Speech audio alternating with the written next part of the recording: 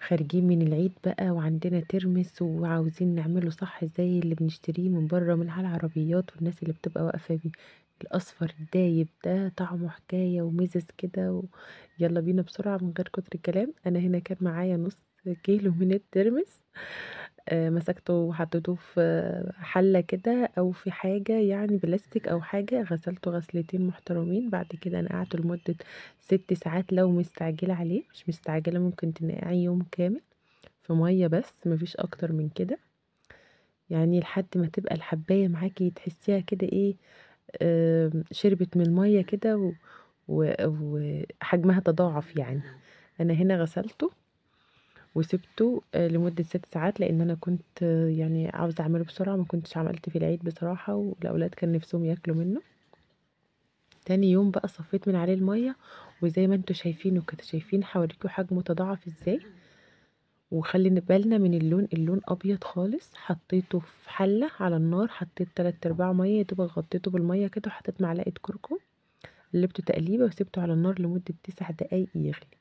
مش كتير صدقوني بس إيه هيطلع معاكوا دايب كده مش محتاج يعني. بعد كده سبته لما المية هدت عليه خالص. يعني بقت المية هادية عليه وباردة خالص صفيته بقى اللون اللي أنتوا شايفينه اللون الأصفر ده زي اللي بنشتريه من بره. حطيت عليه غسلته طبعا تاني وحطيت عليه معلقتين من الملح وعصرت عليه ليمونتين.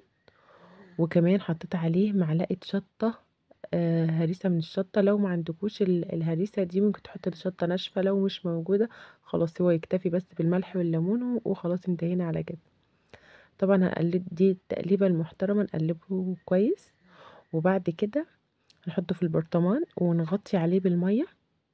والتركاية الصح بقى اللي جاية دي إنك تحطي قشر الليمون اللي انتي عصرتيه. حطيه عليه ما تخافيش ما تقلقيش هيخليه دي مزازة حلوة كده ويبقى طعمه حلو. مش هنخلي المية كتير عليه دوبك هنغطي بس المية وتاني يوم ممكن تطلعي منه وتاكلي. بيبقى طعمه حكاية. زي ما انت شايفة كده أنا هحط هنا كنت عصرة ليمونتين أحط القشر. أيوه ما تقلقيش. مش هيخليه مزز المزازة الفظيعة يعني بس هيديله طعم حلو ونكهة جميلة قوي. وده زي ما أنتوا شايفين تاني يوم أنا خرجته دايب يعني مش مستحمل بصراحة. وطعمه جميل حكاية والليمون عطيه مزازه حلوة كده وبألف هنا يا رب على قلبكم